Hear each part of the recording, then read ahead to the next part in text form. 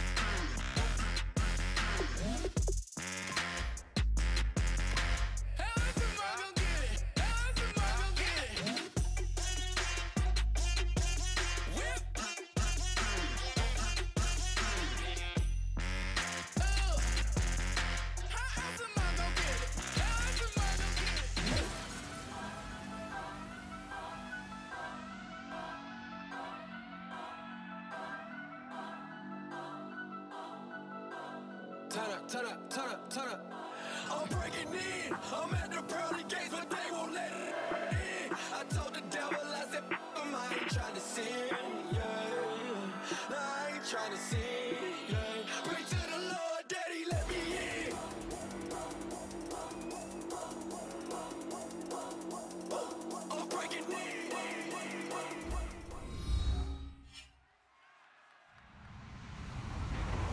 everybody. I'm Larry Ridley, and this is the NFL on EA Sports. This is a team that may be out of the playoff chase at this point, but they're an organization with a ton of pride. And they'll be playing hard all the way to the final whistle of the final game, no matter where they are in the standings. It's the Colts going up against the Dolphins. So with that, let's get you out to the stadium. Standing by tonight are our commentators, Brandon Gaudin and Charles Davis. All right, Larry, EA Sports coverage of the NFL brings us to the Sunshine State in one of America's finest cities, Miami, Florida. Tonight, it's on to Week 10 already, and we've got a good one in store between the Indianapolis Colts and the Miami Dolphins.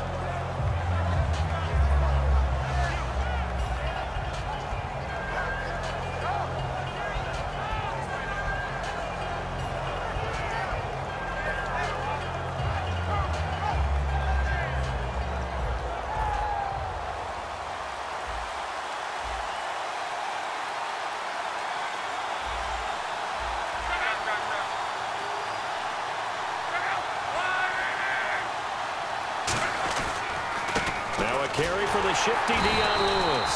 And he's going to be met at the line of scrimmage and taken down. It's a loss of a yard there, and now second down.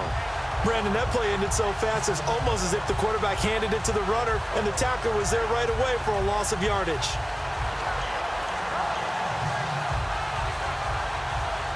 And the offense behind the chains here a touch on second and 11.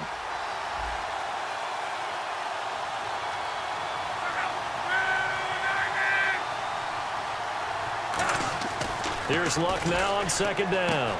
Firing quickly here, and that's complete. And he gets this one just shy of the 40. They'll mark him down at the 39. When you execute a drag or a crossing route really well and give them a chance to let it develop a little bit, you can gain some significant yardage hitting your tight end on that one.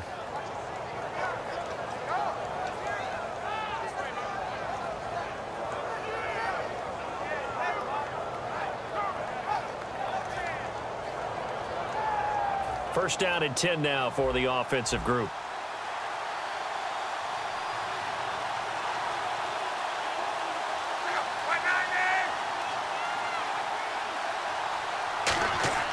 Luck on first down. It's complete here to T.Y. Hilton. Past the 20. Touchdown, Indianapolis. T.Y. Hilton, his fourth touchdown on the year. And the Colts are going to take a first quarter lead. Well, that's how they envisioned it, get the football to start the game and score it. And I don't know if that was scripted. Was it an audible? Or was it just a play call that they had in their pocket? No matter what, they had the right call on against the right defense, and they end up in the end zone.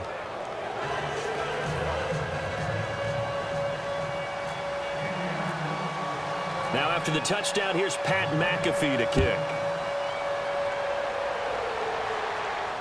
This is taken about seven yards deep. And the decision to bring it out is going to cost him about seven yards all told as he's taken down back shy of the 20.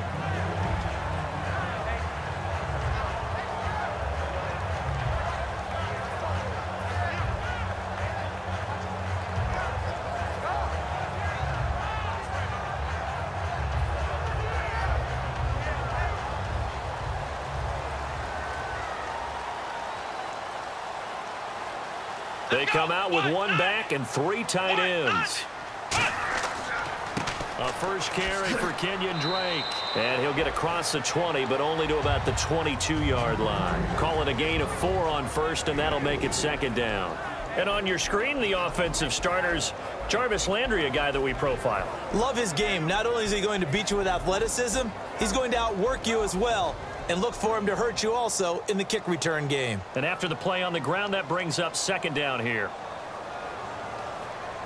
Come on, let's go! Ohio! Ohio! Hut!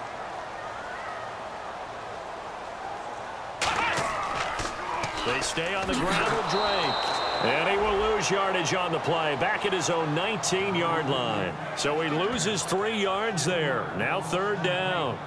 And the good thing about the top-notch safeties, they can play from deep coverage or they can play close to the line of scrimmage, and the end result is often the same, a big-time play for their defensive team, and that's exactly what we just saw.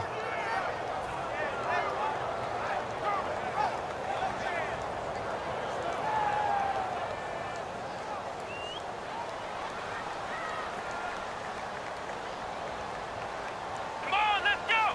Grand 38! Grand 38! On third down, he'll drop to throw. And he's got him. It's the tight end, Cameron.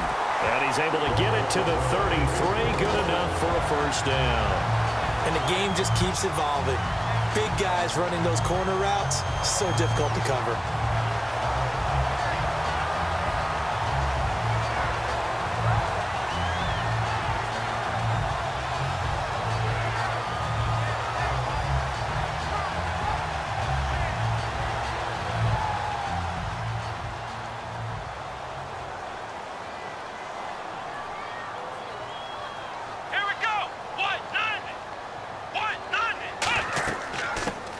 190! It now out of the gun. Trying to bounce it outside, but he's only able to get it back to the line of scrimmage. No gain on the play there. Second down. And now a look at the defense for the Colts. Will Hill's a name that I remember even when he was in high school. He was that good. Many talked about him being the next coming. He's fulfilled his promise and made it to the NFL.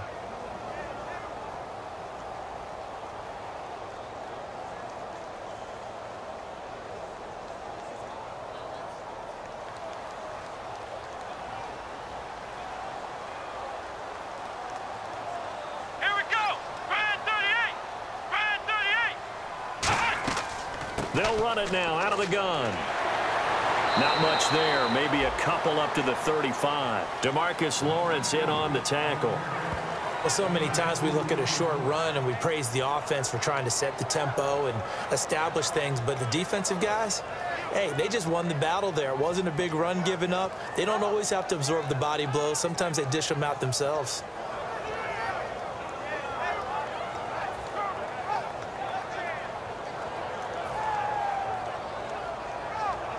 And the offense needs seven out of this play on third down. Come on, let's go. Uh-huh. Out of the gun. They'll look to throw. And he finds Stills complete. And he's got the first down yardage before being taken down at midfield. He's such a good route runner. Shows it there on third down. Very proficient and a good pass. And you know what I've observed over the years in the NFL? The better a route runner you are, the more confidence your guy's going to have in you to go to you in important times because he can trust you being in the right spot, and they connected there and picked up a first down.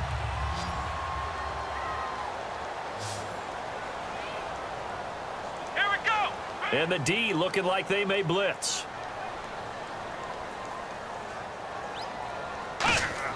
From the midfield stripe, they'll look to throw. And Stills over the middle. And he'll get this one down near the 20-yard line. A really good pickup of 28 yards. Good throw, good catch, but I really like the route. The drag and being able to run away from defenders, hard to stick with them for that long. Yeah, better against man than zone or Better against man because now you're running away from someone and you're not running into a defensive player in another zone. So after that big gain, let's see what else the offense has up its sleeve. Come on, let's go. What? Nothing. What? Nothing. And to give this time to the tailback. And he stopped immediately there. Officially no gain on the play, and it's second down. And as a defensive end, getting off the ball quickly, swarming to the football, making a tackle, that's what we saw right there. Yeah, that's what their job is. And really, a lot of the time, they have to throttle back a little bit in the run game because you know those defensive ends, they're like in a sprinter stance. They're just headed straight for the quarterback. That was good recognition on that play to hold them to no gain. Here we go. Red 38. Red 38. Hot. They'll run it now out of the gun. And again, he's going to be stopped up right at the line of scrimmage. Back-to-back stops make it third and 10. So back-to-back plays here where he couldn't get anything on the ground. Now you face a third and 10 and assume you're going to try to pass it, right? I would think so because you've tried to run the ball, and really it doesn't matter who got the ball in the play because there was no space to go. So I think you step back, throw the ball to try and pick up the first down.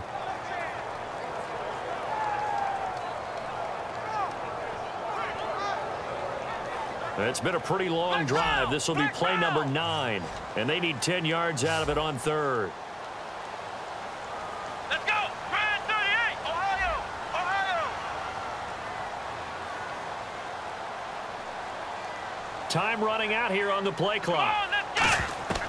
Out of the gun now on third down. And he can't hang on to it. Nearly picked. He's known for his hands defensively. But instead it just brings up fourth down. On now the Miami field goal unit. From the left hash, this from 39. And Prater's kick is on the money. It's good. And they are on the board, but still trailing. It's 7 to 3. And that field goal caps an 11-play drive. It's a lot of offense to run to only get three points, but they'll take them. Anytime you can put anything on the board, you run to your sideline somewhat happy. Prater now will send it away following the made field goal. That's fielded in the end zone. And he'll take it back to about the 19.